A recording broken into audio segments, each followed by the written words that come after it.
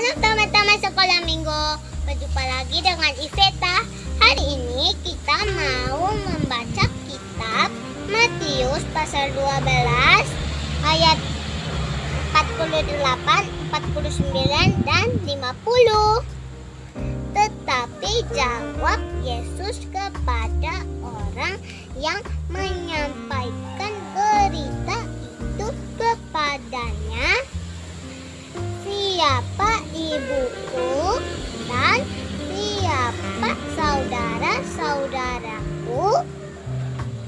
Lalu katanya sambil menunjuk ke arah murid-muridnya, ini ibuku dan saudara-saudaraku. Sebab siapa pun yang melakukan kehendak Bapakku di surga, dialah saudaraku dialah saudaraku perempuan, dialah ibuku.